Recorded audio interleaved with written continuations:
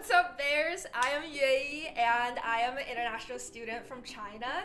I am a fourth year geology major and a climate science minor. As an international student, the reason I chose Berkeley and the US to come to study is because um, people in the US and especially Berkeley come from all over the world. As a geology major who loves to explore the natural world, I also really want to explore the social world, our society, and to challenge myself in stepping out of my comfort zone and talking to people that I'm not familiar with. I would like to talk to you guys about the project that I get involved with on campus.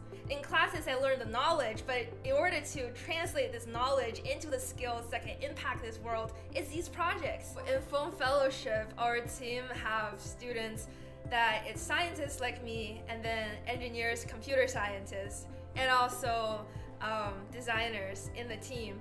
And we are very lucky that we can partner with the National Oceanic and Atmospheric Administration, short by NOAA. One issue that is um, currently happening that uh, really draw our attention is the um, the wind farm project in the California coast. When you plant these little wind farms around the coastline, it will make the ocean noisier. We built this website that people can directly see, oh, it's really loud here, and a lot of marine mammals that I care about live in this area, so maybe we should add in more sound or this area is already really loud, so if we put something louder like the wind farm, it actually wouldn't impact the environment as much. As a scientist on the team, I translate my science to engineers, to humanity majors, to uh, marine coastal managers,